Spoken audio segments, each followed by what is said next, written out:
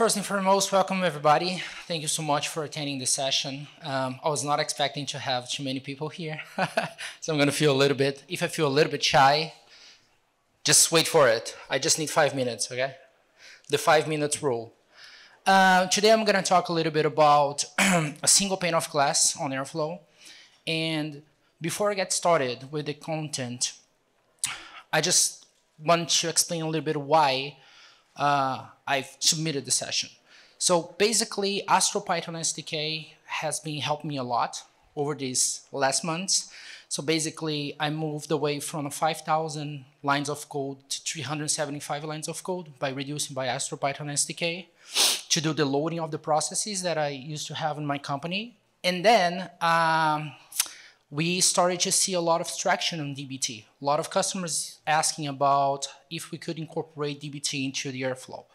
And it was like painful in the beginning, so we're gonna see like it's been pretty painful until uh, someone that is inside of this room and the team, so thank you so much for Astronomer, that brought the Cosmos, uh, Astronomer Cosmos into life. So that helped us like a lot. So we were able to reduce and streamline the DBT processes a lot. And in today's, um, in the way that we do today is that we have a meta, metadata-driven approach. So users go submit a JSON, and from there we just build the entire DBT process using Astronomer Cosmos. And that's automatic uh, within the data platform. So yeah, just before, just to get a sense a little bit about the audience, my first question is that how many of you are using DBT Core? Just please, show of hands. Okay, 30, 40%. And for those who are using it, um, do you know Astronomer Cosmos? Oh, so you're gonna enjoy it. So only 10% of the crowd. That's amazing. So I think you guys gonna love this project. Uh, so do I. But before we get into the Cosmos and the whole um, architecture diagram, I would like to speak a little bit about the modern data stack. I think we have seen more and more nowadays that thing getting into traction. Uh, we used to have a bunch of Spark on the processing engine, and then all of a sudden, not all of a sudden, but we really, we started to see that SQL is just becoming not only the lingua franca for SQL analysis, but also to doing data transformations. And DBT is pretty good on that, right? Uh, but that's just one part of the equation and how you transform the data as long as it's inside of your data warehouse. And you know, this modern data approach, I'm, I, am going to be super frank with you. Uh, in the very first time that I saw this, just dumping raw data into the data warehouse, I felt like, uh, it's, wow, it's messy. But actually, it makes sense for data analysts because they would like to have uh, the data as fast as possible. And then they could analyze and give, you know, results to the business. And that's what matters in the end of the day, right? So we're just trying to make results out of the data. And we have like a couple of pieces here which are interesting because if you're trying to move for something more open source, um, you may stumble across some issues around the process. So that's why I think would be super interesting to show you about that stack and what we did inside of the company. Today we're, we're running more than 100 plus DAGs per day. We have around 150 gigs per day of data movement, and we're doing this I mean, with Airflow and with other these other components that I'm going to show you right now. It's super exciting. So we have the ingestion part, which connects with different data sources. Then we have the data warehouse, um, and eventually we plug DBT on top of the data warehouse to do SQL analytics queries.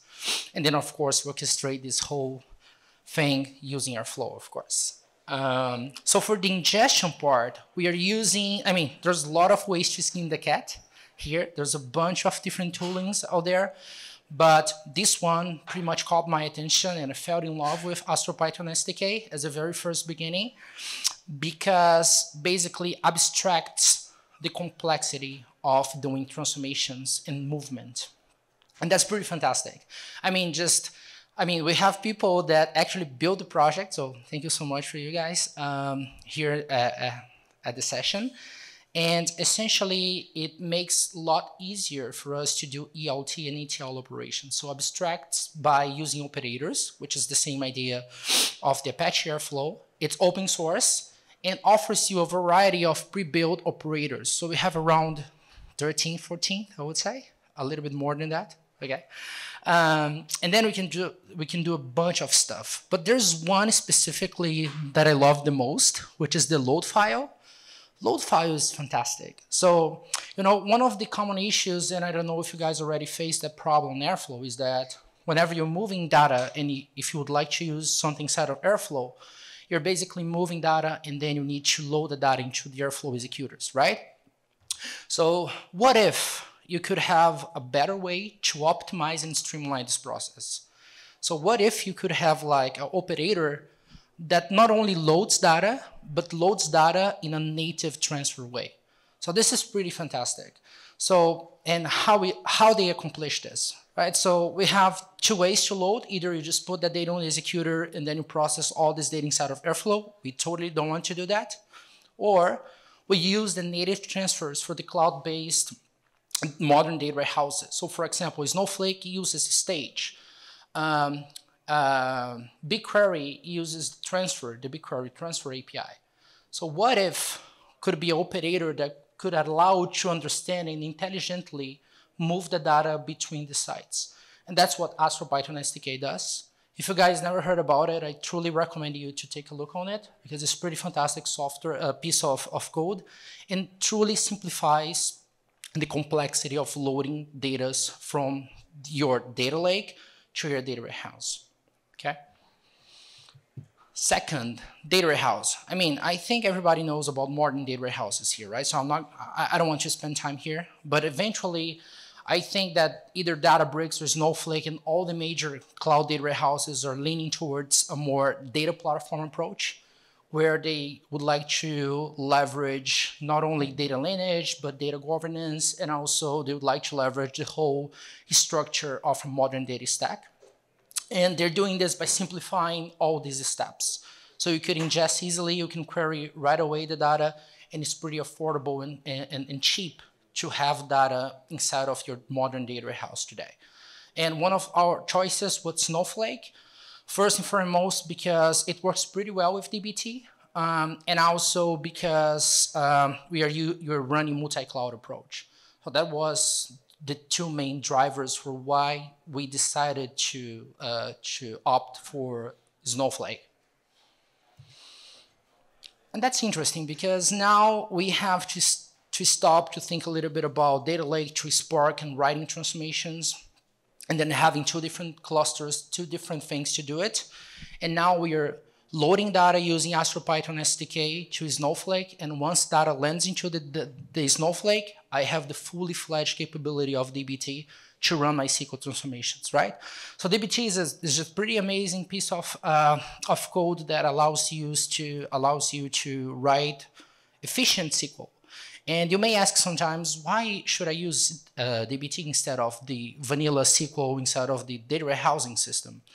And well, there's like a lot of reasons why, but the very first one is that it gives you the whole visualization about what is going on inside of your data warehouse instead of you just just issuing queries against the data warehouse. So it gives you all the lineage, it gives all the benefits to testing. It allows you to have a more software engineering-ish process. So you go through GitHub, just submit your code, you have your approval, and then if you have a LGTM, nobody wants to do that, like it looks good to me. You approve the PR, then it should be fun, fine to run your code.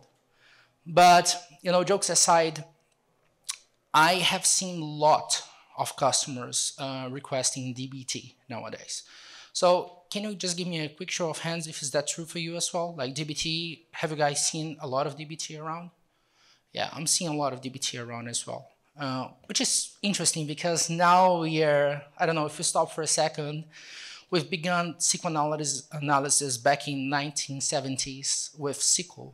And then all the way through history, um, we used to use SQL to solve our problems. Then we stopped to use SQL. People thought would be to use different Python, Scala, Java, whatever. And guess what? Who won the game? We're still getting back in SQL, uh, which is fine. So I'm super excited that we can write complex queries and complex um, data transformations using SQL nowadays, and DBT really allows that. DBT has something pretty interesting, um, in my view, that is the DBT adapters. So DBT adapters, I mean, DBT was meant to connect into a modern data warehouse. That was the very first inception of DBT, but later they they would like to broaden the approach and make sure that you could, you know, extend your DBT across your organization.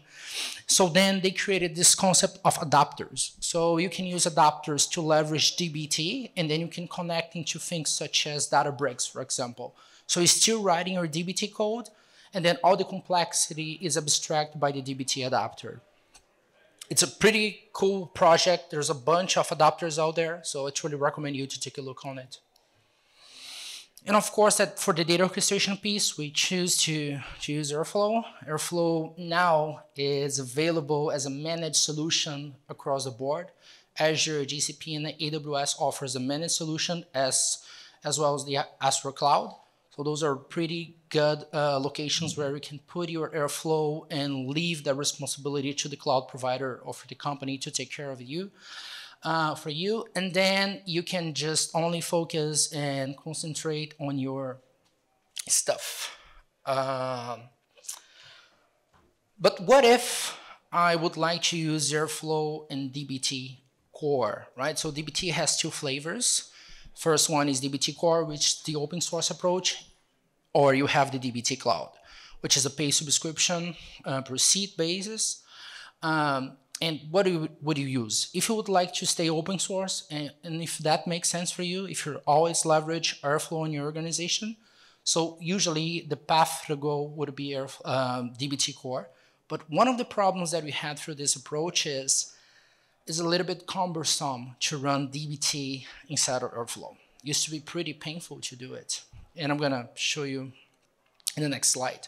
But I mean, we know that, Py, that Airflow is a Python-based approach. We know that it's totally flexible, so allows you to build anything because you're coding using Python.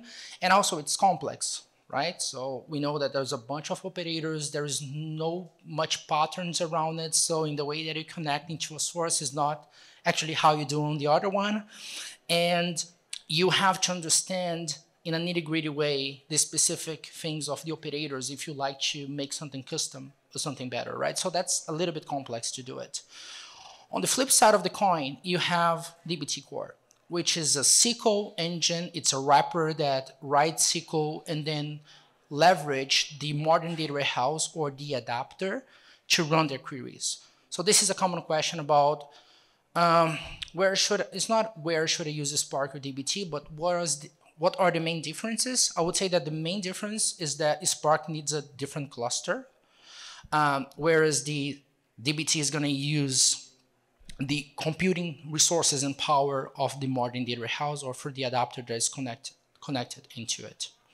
And it's totally specialized, right? So they have things such as materialized views. You can create lineage pretty easily. You can run your tests. So it's pretty easy uh, to run pipelines. So literally, you can spend, instead of days, you can maybe crunch data in one day, and you can have whole your lineage plus the schemas and the testings ready for you, depending on what you're doing. And it's simple, because it's SQL, right? Well, but you know, not everything is flowers, so sometimes it's really hard to make this happen. So in the reality is that whenever you, you, would like to make DBT core uh, to run on Apache Airflow, we used to have like not too many options, but I would say two options here.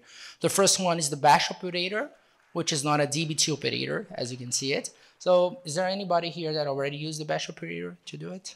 It's so amazing, right? Uh, yeah, it, it works, it does the job, but it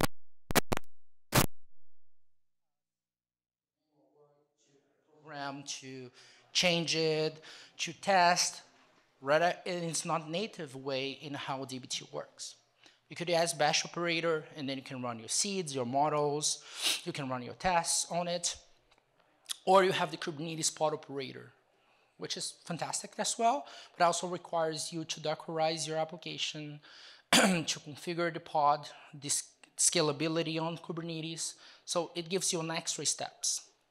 And if you would like to run several different tasks, you, usually would, would leverage different bash operators for that.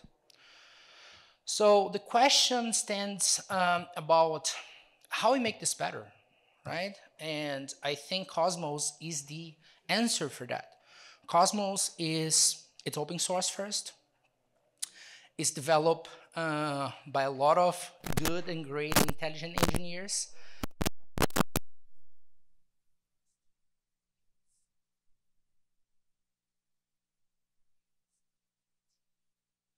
Flow in conjunction.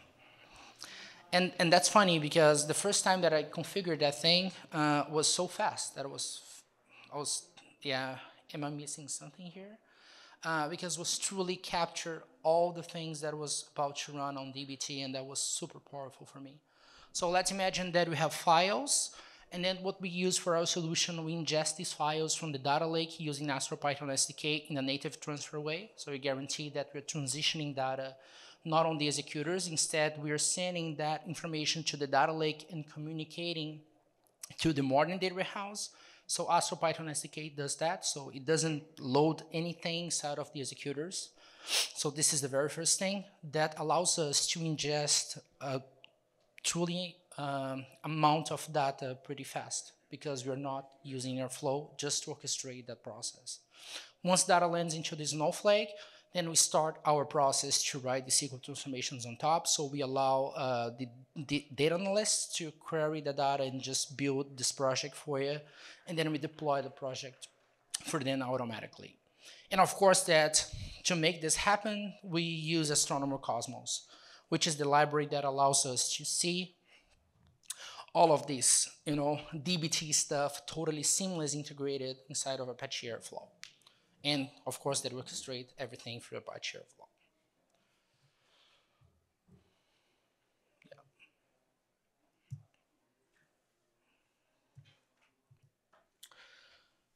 Okay, so let's see how does it work really quickly here, right? So let's say that you build your DBT project. Let's pick the default jaffle shop. Um, and then you can configure profile config that's a, that's an interesting thing. So you can set up different profiles or you can rely on Postgres or other configs to put your credentials and your information on it. And then you have your DBT DAG. And that's it. You just put the DBT DAG and then magically it understands everything inside of your DBT project. So it's pretty easy, um, and you know, just builds this beautiful image for us so then we can have the same visualization and the same look and feel of the DBT for SQL analysts for, or people that would like to query. So embeds pretty easily inside of a project. It alters SQL as the first cloud citizen, so it makes easier for you to write any SQL because it's not that easy to write this without uh, without Cosmos. You have all, you leverage the scheduling capabilities of Apache Airflow. That's important. So data wearing and uh, timetables and these type of schedulers, they do work on it. And also, uh, it's a it's super far away from you. Again, just super close to you. It's just a pip install, Astronomer, Cosmos, and then you're set to go. And the last point is about some considerations about if you would like to consider this um, as your process to integrate Apache Airflow and DBT core seamlessly. Um, there's like a couple of things that are interesting to see. First is just you can customize your deployment using either Docker or Kubernetes. So it's already available on the current Astronomer Cosmos uh, uh, version. You can use different profiles. So let's say, for example, that you're using, and we use, the, uh, we use Databricks and DBT. And let's say that I would like to store my credentials on Databricks. I can do it. So there's a token capability where I can send and store the data securely on it. I can enable OpenLineage. So there's like an OpenLineage capability ready for you. And this is, this is the holy grail for me. You can literally generate the static docs within the Airflow realm, either using Docs S3 operator, Azure, which I feel super happy to see here, and you also have a custom callback that you can use if you have any any custom thing that you would like to do. And as I said before, if you'd like to leverage the scheduling process of Apache Airflow, you're allowed to do it as well. So I think I'm just running out of time. Um, yeah, this is the presentation that I, I thought it would be interesting to deliver to you guys. I hope you like it. And just please test the Astronomer Cosmos and, and see what you think. I think it's going to blow your mind. Thank you so much. Awesome. Thank you, Luan. Uh, I think we have some time for a couple questions. If anyone has any, uh, just raise your hand. and I'll bring a mic to you. If you're okay with that, Luan. there we go. Yeah, so usually when you execute dbt run, it will uh, take some time to parse all the model and then uh, actually execute the model. So does Cosmo does in every task does it use dbt run with a single model? And if so, doesn't that uh, add some time for the execution? I think you have two options. You can leverage the Airflow parsing, but also it uses the dbt parsing to make sure that everything's running smoothly? But Tatiana, if you have anything around it. Um, yeah, so at the moment, Cosmos has three modes for parsing a dbt project. It can use the manifest, which is the most lightweight, and then this means during parsing time, we would be spending less time. Um, there's the option of running dbt ls. The advantage of this mode is that then we can benefit from dbt select and exclude using dbt to resolve those. Um, it's a bit heavier, especially if you have a dbt project with thousands of nodes. Um, but for smaller projects, it just gives the closest experience to what dbt would offer. And then there's a custom parser, which is written within Cosmos. Um, it is implemented in Python. And then, yes, manifests would, are the current most efficient way.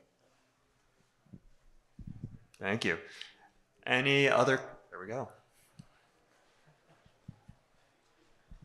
Uh, you mentioned that the DBT um, core, or the, in order to integrate um, Airflow and DBT, you use DBT core. Is there a possibility of using DBT, the SaaS version, and implement um, with uh, um, integrating with Airflow? Yeah, good question. And yes. whether it's Airflow Astronomer or whether it's Airflow um, non-managed service. Sure. Yes, there's a DBT Cloud Run operator so you can easily integrate if you still leverage Apache Airflow, and if you like to integrate with DBT Cloud, you have an operator that does that. So just go to Astronomer Registry, DBT, and then you're going to see the DBT Cloud integration.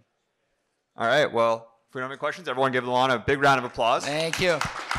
Thank you so much.